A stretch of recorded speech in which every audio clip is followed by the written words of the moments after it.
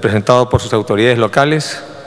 Eh, este es un paso importante en lo que es la política de inclusión social, que nos permite no solamente trabajar lo que es la conectividad a través de carreteras eh, terrestres, sino también, además de esas grandes autopistas de la fibra óptica en banda ancha que hoy día ya tiene Loreto, sino también nos permite articular el transporte comercial subsidiado para que sea accesible a la población de Loreto y que nos permita eh, activar el mercado loretano y crear oportunidades de desarrollo, oportunidades económicas, en este caso a zonas de Loreto que normalmente han estado aisladas como Colonia Angamos, Caballo Cocha, San Juan del Estrecho y Huepí.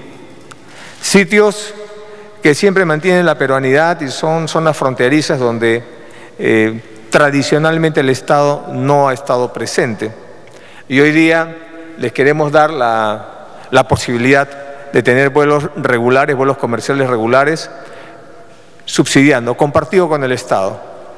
Eh, y esto lo hemos venido viendo en los diferentes viajes que hemos hecho a San Juan del Estrecho, Caballo Cocha, la situación de aislamiento que vive la población y que depende fundamentalmente de los vuelos de acción cívica, que gracias a nuestra Fuerza Aérea y a nuestro Ejército peruano y a nuestra Marina podemos ayudar a las poblaciones. Las famosas evacuaciones, eh, los trabajos que tienen los gobiernos regionales y locales de interactuar con sus pares en las diferentes partes de la región, la necesidad de la población de llevar sus... Eh, sus enseres, sus artículos, etcétera. La necesidad del transporte es fundamental. Y esta es una visión que tenemos a nivel nacional.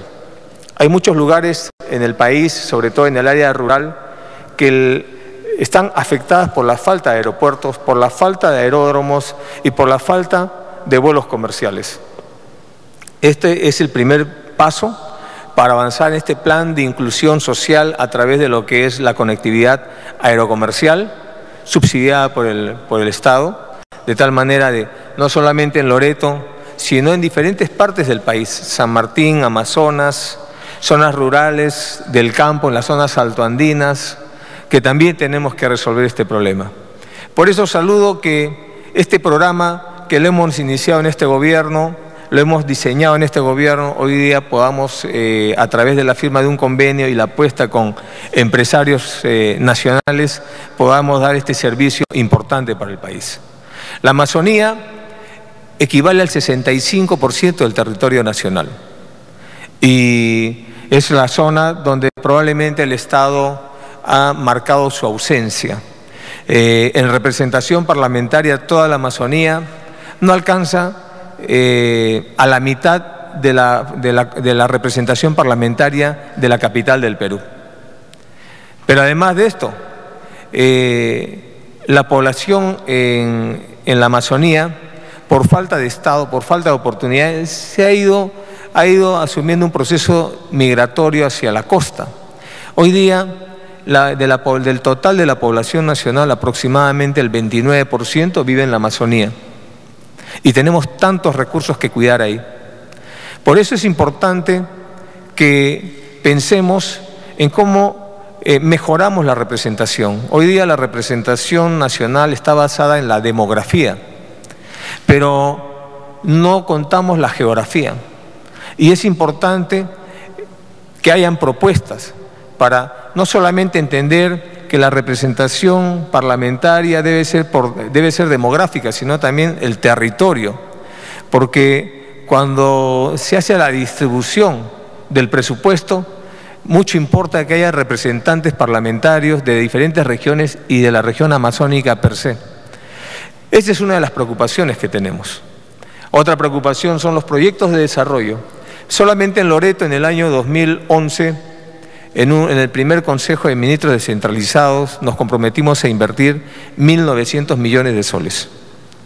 Sin embargo, a la fecha puedo señalar que solamente en el sector transportes y comunicaciones estamos comprometiendo recursos por, más de 2.000 millones de soles, sin contar el resto de sectores del país que también tienen presencia en Loreto, como es salud, educación, el Ministerio del Desarrollo y la Inclusión Social y todos los ministerios, todos los sectores. Es por esto que quiero saludar y felicitar al Ministerio de Transportes y Comunicaciones, a la empresa nacional y al, pueblo loretano a través de sus autoridades que han permitido que hoy día podamos celebrar este acuerdo. Y que este acuerdo sea un primer paso para que el próximo año tengamos vuelos más frecuentes, regulares y más baratos para que eso beneficie a nuestra economía. Esa es la apuesta del gobierno, la inclusión social en todas las áreas, en todos los campos, para poder achicar, reducir la brecha de desigualdad, luchar con mayor efectividad contra la pobreza y darles mayor oportunidades al pueblo peruano. Muchas gracias. Bien, entonces, según lo señalado por el presidente de la República, esta iniciativa beneficiará a una población aproximada de 40.000 habitantes de las cuatro zonas aisladas de la región Loreto, El Estrecho, Caballapocha, Huepí y Colonia Angamos. Es la información, Noelia, desde Palacio de Gobierno. Retornamos contigo, estudios. Adelante.